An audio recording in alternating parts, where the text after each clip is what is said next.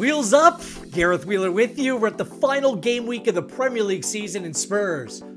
They're within touching distance of a top four finish and Champions League football next season. All they need to do is go to Carrow Road and beat lowly Norwich City. Or they could come away with a draw. That's fine too. They can't be this Spursy, can they? To throw this chance away. Well, the line suggests no, as Norwich City is significant home underdog here, plus 1100 for the home win, minus 435 for a Spurs away victory, plus 550 on the draw.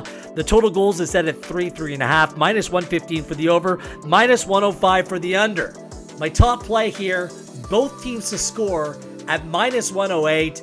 And if you're really into Spurs in this one, how about both teams uh, to score combined with the Spurs win at plus one, 160? Look, Spurs have a vastly superior goal differential than Arsenal heading into the weekend. Uh, plus 15, they're two points up on Arsenal, so a draw will do in this game. Cristian Romero, their top center back, still a big injury doubt. That needs to be taken into consideration. Spurs, although they picked up points in their last three away games, they've had a worse XG in each and every one of those games than their opponent. Liverpool, Villa, Brighton. Norwich City is far worse than any one of those sides, but still something to take a look at. Harry Kane, Son, both of them being on absolute fire.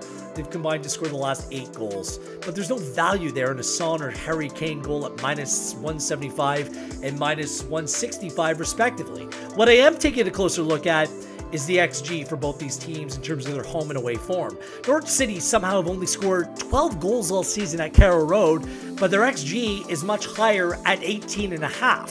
Spurs away have only conceded 21, a very good uh, record in terms of conceding goals away from home in 18 games, but their expected goals against is closer to 27.